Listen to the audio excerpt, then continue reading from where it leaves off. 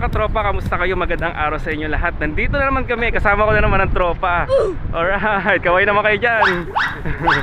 Yun, pupu- may gloves kami sa kamas. Pupunta kami ng West Zone ngayon at ah, kasi magluluto ata si paring ware ng ulam namin. Luluto kami ng binalasubas na bopis. Pero subas na bopis. Ayun, magluluto kami.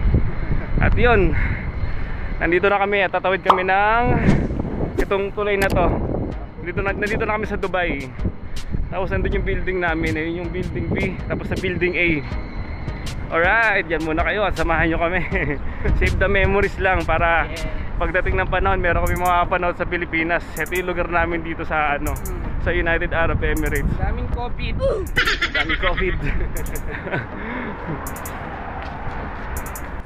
Nandito na kami ngayon sa Tulay, dito sa may Dubai At pupunta kami ng West Zone Ayun nga sabi ko kanina At ah, pinauna ko na yung tro, mga tropa dun sa West Zone Kasi kumuha muna ako ng konting clip dito sa may kalsada Dito sa may Dubai At para meron tayong may save na memories pag uwi natin. Kasi yun mga katropa, pag tumawid ka dito sa Tulay na to At dito sa Dubai banda rito, nandito na yung West Zone na lagi namin pinagbibilhan ng baboy, bilihan ng baboy yan sa loob.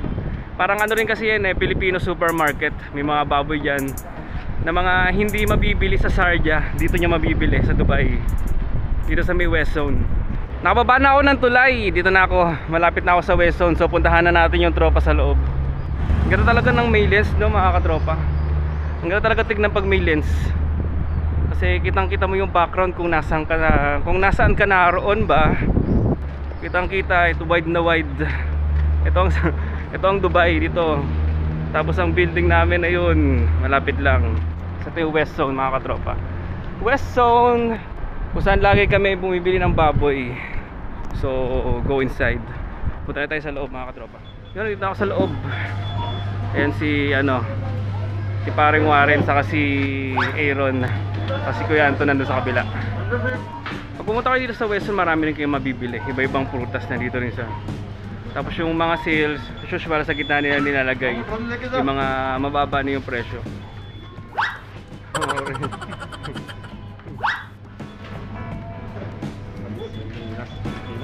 Oo. Iba, iba, iba talaga yung lasa ng mango.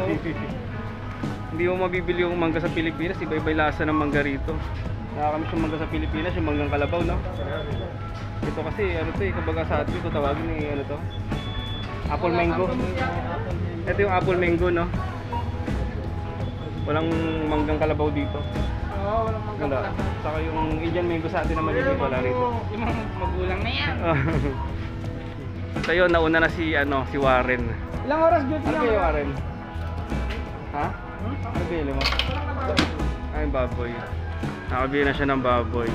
At ah, bukod yung kay Kuya Anton.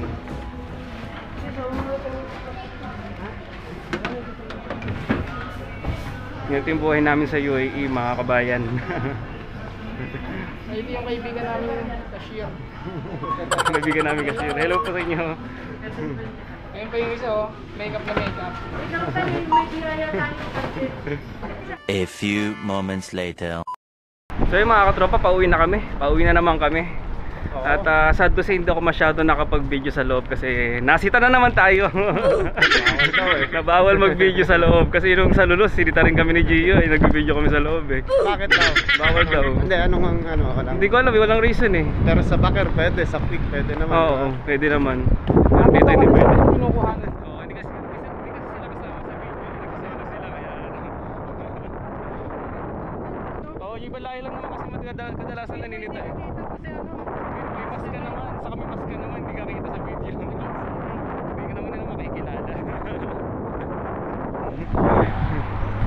alam mo yung alam mo yung lugar na bawal mag-video pero sa social media kung saan mang ah, sa kung saan mang news makikita mo yung lugar nila. Kung makikita mo makikita mo yung mga pinagagawa nila pero bawal mag-video. Ewan ko kung bakit, medyo nahihiwagalan din naman ako.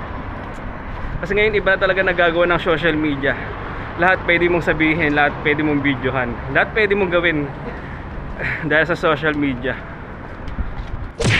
At ayun, ito yung building namin. Block B saka Block A. At ah, It was at this moment that he knew. He fucked up. You know I'm gonna get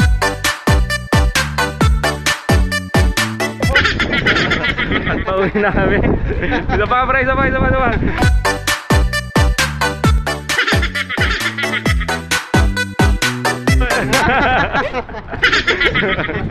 Mapagtitripan naman ka na sa video ko. Para ma, ma-edit ba yun? Oo, ma-edit yun. Yung ginagawang gumagano. Oo.